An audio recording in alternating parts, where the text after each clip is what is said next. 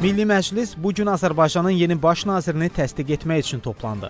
İclası açıq elan edən Milli Məclisin sədri Oqtay Əsədov dövlət başçısı tərəfindən prezidentin xarici siyasət məsələləri üzrə köməkçisi Novruz Məmmədovun baş nazir vəzifəsinə namizədliyinin irəli sürüldüyünü açıqlayıb. İcazənizlə dövlət başçısının Milli Məclisə məktubunu oxuyum.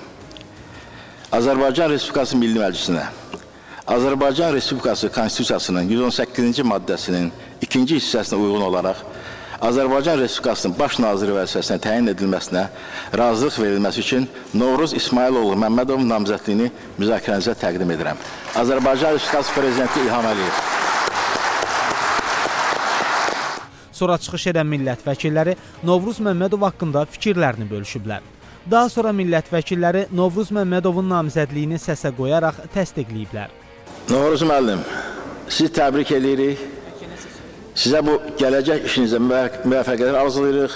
Sonra tribunaya qalxan Novruz Məmmədov baş nazir vəzifəsində ilk çıxışını edərək ona göstərilən yüksək etimadı doğrultmaq üçün çalışacağını vurğulayıb. Mən qeyd etmək istəyirəm ki, Azərbaycan öz tarixində bu gün bütün məqamları nəzərə alsaq, öz müstəqilliyinə, suverenliyi ilə özünün ən möhtəşəm bir dövrünü yaşayır. Mən də bu dövrdə yaşadığım üçün fəxr edirəm ki, bax, belə bir məqamın iştirakçısıyam və sizə də söz verirəm, hər şeydən əvvəl Azərbaycan Respublikasının prezidentinə söz verirəm ki, mənim qarşımda qoyduğu vəzifələri məsuliyyəti ilə dərk edib onların həyata keçirməsinin əlimdən gələni edəcəyəm. Çıxışdan sonra parlamentin spikeri Novruz Məmmədova yeni vəzifəsində uğurlar arzulayıb və iclası bağlı elan edib.